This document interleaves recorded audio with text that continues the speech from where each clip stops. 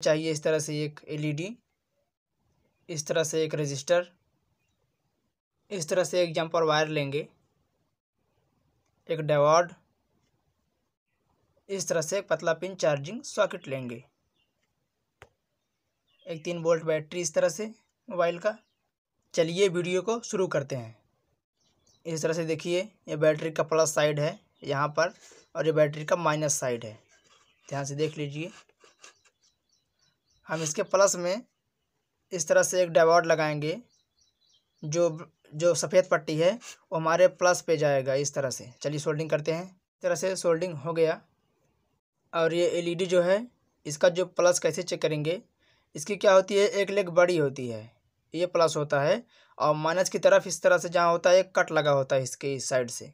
ये माइनस होता है हमारा। चलिए इसके लेग पे हम माइनस या प्लस पर किसी भी जगह पे हमें इस एक किलो ओम को सोल्डिंग कर देंगे ताकि ये हमारा बल्ब फ्यूज ना हो। चलिए सोल्डिंग करते हैं।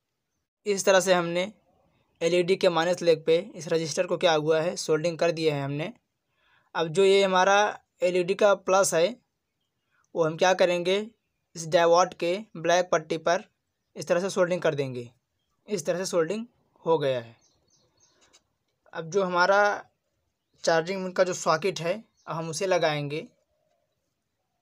जो हमारे इस तरह से चार्जिंग मिन का सॉकेट होता है, ये जो परत होती है, माइनस होती है, और जो बीच वाली परत होती है, ये प्लस होता है।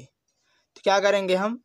इसका जो बीच वाला लेग है, ये प्लस वाला, इसको हम इस डाइवर्ट के इस तरह से जो निकला हुआ है, डायरेक्ट में हम सोल्डिंग कर देंगे इसके बीचों बीच चलिए सोल्डिंग करते हैं। कि इस तरह से सोल्डिंग हो गया।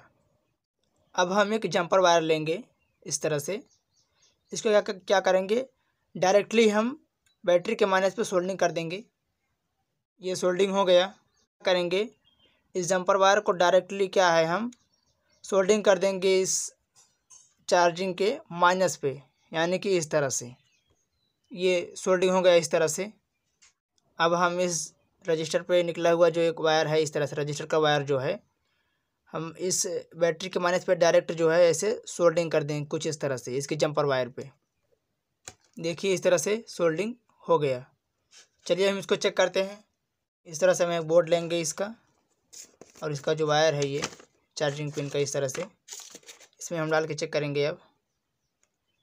देखिए हमारा जो जलने लगा ये।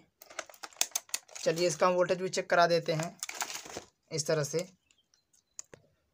देखिए इस तरह से मल्टीमीटर में इसका वोल्टेज चेक कराएँगे। देखिए, तीन पॉइंट सेवेंटी एट वोल्ट इसको जब हम निकालेंगे, देखेंगे इसका वोल्टेज कितना है। देखिए three point sixty two volt है। चार्जिंग में लगाएँगे अब। देखिए हमारा चार्जिंग होने लगा ये। वोल्टेज भी तीन पॉइंट सेवन वोल्ट हो गया। तो इस तरह से बनता है हमारा चार्जिंग इंडिकेटर तो दोस्तों, बस आज के लिए इतना ही। वीडियो पसंद आई लाइक कीजिए। चैनल को सब्सक्राइब कीजिए। धन्यवाद।